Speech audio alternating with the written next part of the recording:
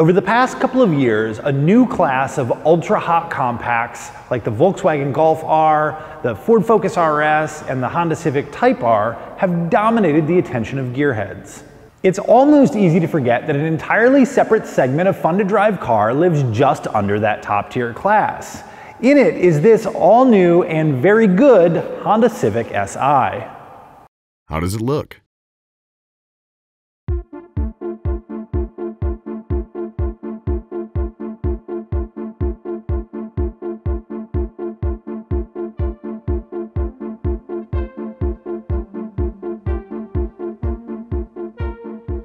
Praise for the driving behaviors of the 10th generation Civic has been almost universal, but the world seems utterly split on its origami-inspired looks.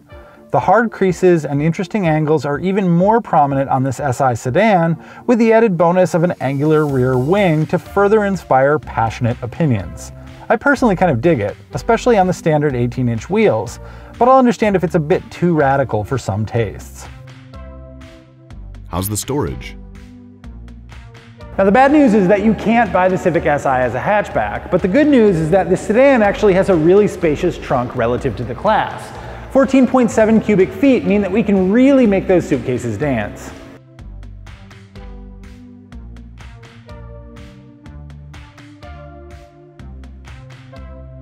All of the cleverness we've loved from the standard Civic interior carries over here, including the really handy super configurable center storage bin.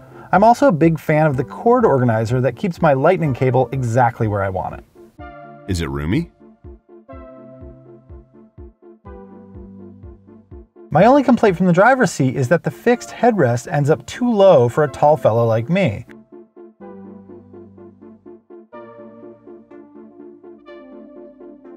The back seat measures out a little bigger than average for a compact sedan too, even if I make it look cramped. How does the interior feel?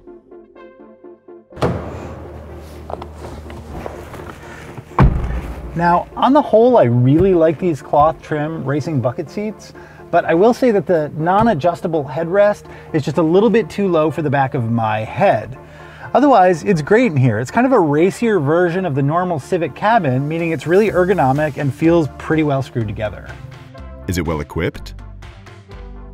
At the moment, there are no trim options for the SI, with Honda only offering the car in one well-contented specification. Outside, you get those 18-inch wheels and LED lighting in front and in back. Inside, you'll find heated seats, a moonroof, dual climate controls, push-button start, a 10-speaker audio system, sporty pedals, and a perfect-to-hold leather-wrapped shift knob. How's the infotainment system? This is Honda's display audio system with a 7-inch touchscreen and generally inoffensive operation. It gets bonus points for clear graphics and integration of Apple CarPlay and Android Auto, but loses points for the slightly annoying volume controls. Is it a good daily driver?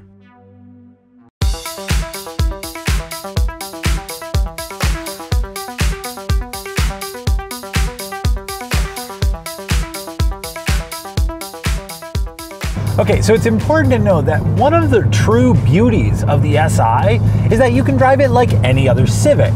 It's not one of these performance cars that screams, I'm a performance car, all the time. So any other Civic means first and foremost that you have light but accurate control. So easy to maneuver steering and a really great light action on this gear lever. The other thing that it brings to the table is really wonderful ride quality. Even on these bumpy roads, it really doesn't translate a lot of that impact through to the cabin. And the NVH is very well managed. So unless I floor it and hear the engine screaming, it stays pretty quiet. Is it fun to drive?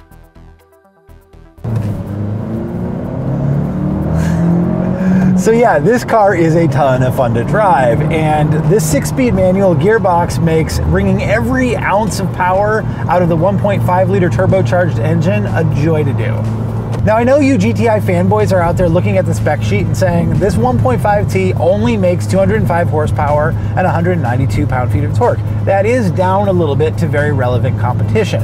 But don't forget, the car only weighs 2,900 pounds or thereabouts, and the transmission is so good that the whole package comes together in a really wonderful way. Now, I've already talked about the ride quality and how that makes the SI such a good daily driver, but the fact of the matter is the car is really light on its feet too. Of course, it's a good handling car in the tradition of the other Civic SIs that have led up to it. When I push the Sport Mode button and I firm up the underpinnings, it makes it all that much better. So it's light, it's accurate to toss into the corner, and most importantly, the suspension responds really quickly to inputs, so I can change direction over and over with great speed. How's the fuel economy? You probably won't buy the SI for its MPG figures, but the fuel economy is actually one of the car's killer features. EPA ratings are 28 miles per gallon city, 38 highway, and 32 combined. That's objectively very good, and compared to rivals like the Hyundai Elantra Sport and the VW GTI, it's clearly the best in class. How much is it? Our test car is completely option free. Honda only offers a handful on this model anyways. Add the MSRP to the destination and delivery charges, and you get an all in price of $24,775. Honda has kept a laser focus on affordable performance here. Plus, those with bigger budgets can now buy a Type R. What are the negatives? The SI faces the same two main drawbacks as the car that it replaces. Number one is that it doesn't have the same performance potential, at least in terms of raw power, as cars like the Volkswagen GTI and the Ford Focus ST. Number two is that unlike both of those vehicles, you'll never be able to buy this one as a hatchback. Who should buy it?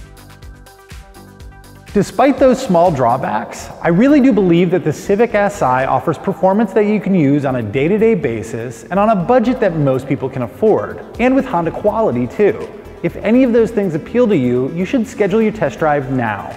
Thanks for tuning in to our Civic Si Why Buy guys. We appreciate you watching. Please feel free to leave us a comment or question down below. And if you haven't yet, subscribe to our channel. We'd also love to see you, as always, on Motor1.com.